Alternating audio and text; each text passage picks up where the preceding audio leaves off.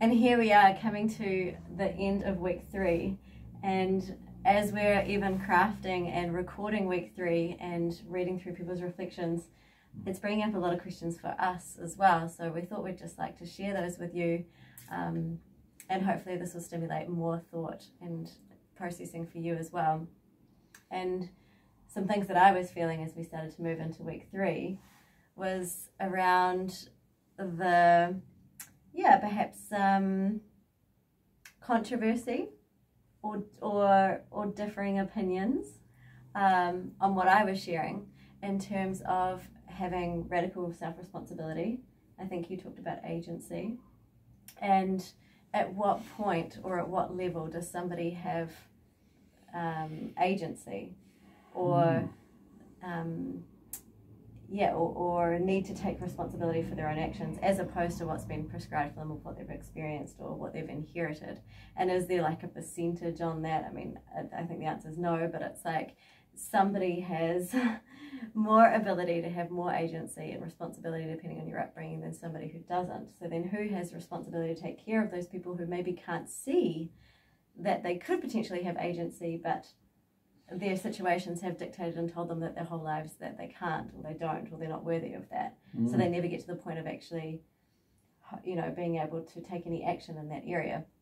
So it raised a lot of questions for me of like, well, mm. you know, what are we advocating for? Do I feel like I'm being insensitive or not em- empathetic enough or understanding, not understanding cultural constructs enough when I say, hey, everybody has responsibility? Um, mm and it needs to take that on board?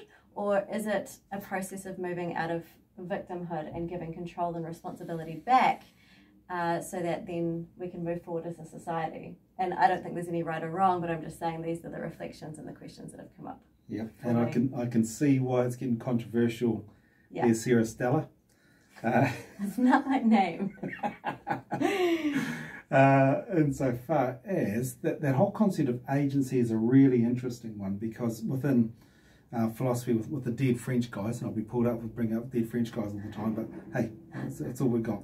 Um, but within those, within philosophy, when we think about agency, we can argue between uh, the power of, of the individual as an agent as opposed to the power of the structure. So there's the structure that sits in place or the individual agent. Now, in some of the conversations that we've had through the course, we've talked about structure as being that idea of the dominant discourse and hegemony. And systems. And the systems, and all of the systems that, that pervade into that and that inform that. Mm. Now, that's getting back to that whole what stuff that we talked about. What is it that makes mm. up who I am? Mm. Now, if you're part of that dominant discourse, then you sometimes feel like you're acting as a free agent with free will because all of your will and all of your agency, all that stuff you want is tied up in that discourse. Mm. So um, for people like myself, when I think about my, my um, white middle class male upbringing, I fit perfectly with that structure that talks about who I am and informs my wants and needs as part of the normal. Mm. Now, if you're not part of that normal, you get to question that idea of agency. What power dynamic, or what power, yeah, what power dynamic do I have in the structure? And usually it's very, very little, I would suggest. So um, when we're talking about agency, mm. we're thinking about that idea of how can I act with free will inside of a structure that A, may not speak to my needs as an individual or my wants or my, my ends. Now, I can see where the controversy is coming in. Uh, mm. You know, mm. sometimes we, we, we say, well, I've got no sense of agency, I've got no voice within that. I think one of the things that we've been trying to say within the conversations we're having is if we analyze the discourse, if we find our place within, you know, we, we, we have ourselves and the other, find that similarity and that crossover point within that and understand where we fit within the structure, then that will give us, I would suggest, a sense of agency. Does, yeah. does that make sense? Is that? Yeah, it does. And two things you mentioned. So something I was talking about this week in the course was around practice mm. and um, and cognitive dissonance and it ultimately came down to what feels good. Yep. What feels good at the end of the day. And so when you're talking about um, agency, you know, it can also be about um, what I'm thinking about in terms of taking action is do we feel good at the end of the day with what we've done within Mm. the capabilities and the constraints and the systems that we live within? Mm. Yep. Um, and you also talked about um not being or the normal. You know, if you're not the normal, then you you reflect. And I would say being in the normal is just as important to reflect and to analyze as well. And I know you agree. But I know from my point of view, okay, so I'm a woman, so that's I haven't been in the power dynamic of, of this world of being a male Of, of a dominant male world privilege. of a male privilege, but I have been white, right? So I have experienced that privilege. Um, and my reflections in terms of my identity is like, well, how can I be an ally for change? And I think that's where the agency comes in. I think we all have different responsibilities and different agencies available to us. Mm. And for me, when I pause, it's like, okay, so if I'm in the privilege, how can I be an ally for the people who are m- more disadvantaged than me? And then can I help to share that agency? Mm. And I think that's really interesting because that's that's part of, and I've said this heaps of time. It's all I've got, but that ties into this conversation here. If we, largely speaking, as as the mainstream, as the dominant discourse, close up those gaps, uh, then how can the other actually infiltrate into that or understand themselves as a part of that dominant discourse, as a part of that structure? So are constantly going to feel like on, on the outside. So you know, within these conversations, we've been encouraging people, even if they're from the dominant discourse, to think about what makes that up and what's, you know, how, how that all works, Yeah. and to allow for that coming together. Yeah. And I think underpinning this, this is what our guest lecturer talked about in terms of that acknowledgement underneath as well.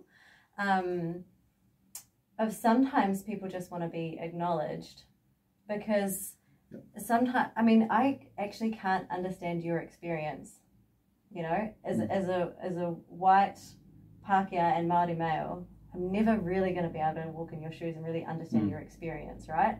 And I and and we've done a lot of trying to come into the middle, Yeah. especially in our working relationship as well, of trying to find this place where we can work together and understand each other. Mm.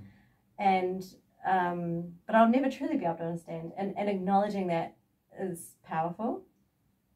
So that we can get to a place, and I can understand the best that I can within the environment and my own construct. And that's interesting because that reminds me of, of those conversations we've had around feminism. And I've been lucky enough to be to be brought up in a very strong, um, uh, uh, uh, a household with a very strong mother. Mm. uh, and you know through my studies reading a lot of, of feminism but i can't be a feminist I, I Mm. can't i can't like you're saying i can't understand what it is to be a woman. I can't step into your into your shoes. But tight. But but I, yeah, yeah exactly that same thing. I can emphasize uh, empathize. Empathize, yes, i can do that yeah, uh, and understand there's some commonalities but i can't actually take that space. Yeah. so i'll always be sitting here. Yeah, but there's there's there's another um, small bit of theory that I want to chuck in here, and we're just riffing this. There's this other small bit of theory that I want to chuck in, um, something that uh, um, a, a theorist called naive complicity. Naive complicity. Mm. Now, sometimes when the dominant discourse, if they close those doors, they judge the other on what they're not, you know, good, bad, black, white, east, west, those Mm. sorts of things. Mm. Now, sometimes the other takes on those stereotypes naively and complicitly. They're complicit in their own othering. And when that happens, they're actually removing their ability to gain agency, to say, actually, I see how I work with the dominant discourse, and I'm not just what you say, I'm a whole lot of other things, and this is what I'm bringing to the table as well. yeah, So, um, you know, that idea of, of naive complicity, sometimes we're naively complicit in our own othering. Now, that's a, that's a big statement, isn't it? yeah, it is, and it makes me think that then it's really important for us to know our own identity. so we don't get sucked into the othering of something else, and often probably coming from a want or a desire for a sense of belonging, Mm. you know, trying to fit in, Mm. but actually losing ourselves in the process. Yep, Um, exactly. So, Losing that true essence of who we are, what, what makes up our, our, our own discourse, but then also buying into the stereotypes that are placed on us by others, and therefore yeah, being qualified against something that we're not, and losing our sense of identity and agency. If we contribute to digging the hole, that's where we get to live. mm. Is that a decent analogy? which then brings us back into the whole cycle of the process. That we we kind of come back to the what, which we explain this. You know, it's this it's a circle. What? So what? Now what? And then it just keeps feeding back into each other all the time. Mm. Yep. So for for for me to understand you as as a as a as a female, for you to understand me as an indigenous male, we have to be open to a understanding who we are as individuals first of all. What Yes. makes up our, con- our our constructs. Yeah, Be open to to accept the narrative of the other. yeah. Acknowledge that. Yep. Acknowledge that there is difference. And acknowledge that there are similarities, and then try and build on those similarities. It might just be sort of just glimpsing, just touching at times, but yeah, working Yeah. together.